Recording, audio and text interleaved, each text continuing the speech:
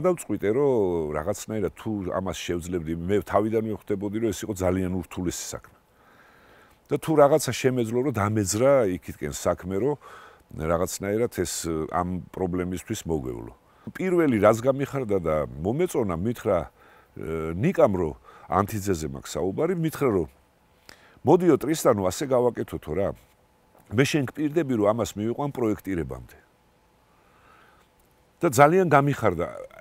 ჩემ ცხოვრებაში აი შვილები შემძენია სახლი ამიშენებია უამრავი სიკეთე გამიკეთებია და ასე მე არაფერი არ გამხარებია, რაც ნიკამ მითხრა იმ შემთხვევაში. იმიტომ რომ თუ მე პროექტი მეჭირებოდა ხელში, მაშინ ძალიან ადვილი იყო სპონსორის მოძებნა და ჩემ სამეგობრო წრეში და ჩემ იმაში, რომ ვინმე დაინტერესებული იყოს, ან რაღაც უამრავი ფონდებია. მთელი სოფელი მეკითხებოდა, რომ რაშია საქმე, რაშია როგორ მიდის ამ საქმეები და მე ვპირდებოდი ამათ, რომ უკვე გადაწყვეტილია და საოცრება რაშია, რომ მირეკავს ნიკა თვითონ და მეუბნება ტრისთან ძალიან ისეთი ამბავი უნდა გითხრა. რა მე უთხარი და რაოდა საპატრიარქოდან მომივიდა წერილიო?